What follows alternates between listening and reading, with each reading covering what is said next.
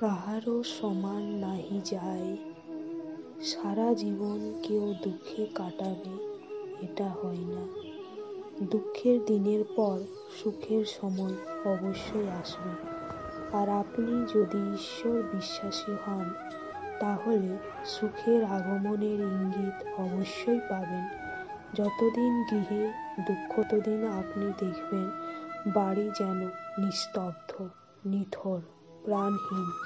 কিন্তু যখনই আপনার জীবনে সুখের সময় আসন্ন, তখনই আপনি কিছু ইঙ্গিত অবশ্যই পাবেন।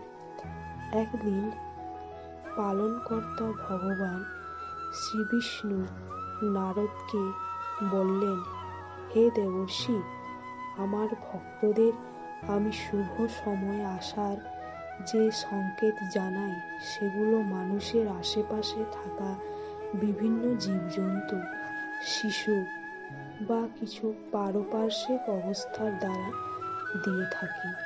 যেমন নিস্তব্ধ গৃহে হঠাৎ করে যদি চড়ুই পাখির আগমন ঘটে, তাহলে তৎক্ষণাৎ তাদের কিছু খাবার ছড়িয়ে দাও।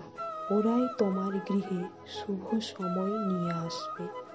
যদি দেখো তোমার দরজায় রোজ গরু এসে দাঁড়াচ্ছে রোজ তাকে কিছু খেতে দাও। সুসময় এলো বলে। শিশুর মধ্যে ভগবান থাকেন। তাই যদি দেখো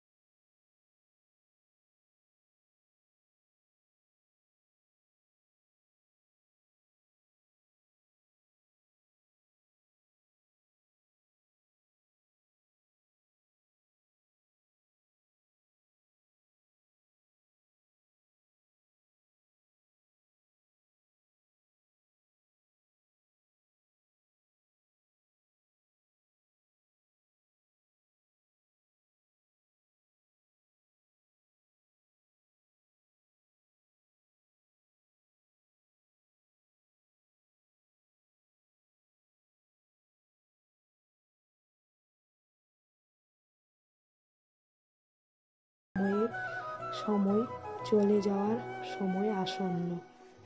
ঘরে যখন, তখন প্রজাপতি ঢুকে উড়াউড়ি করছে, এটাও সুসময় আসার শুভ সংকেত জানবে। কোনো কারণ ছাড়াই সন্ধ্যাবেলায় এক পাত্র দুধ বা এক পাত্র জল তোমার বাড়িতে এসে কেউ দিয়ে যায়, অতি শুভ লক্ষণ জানবে।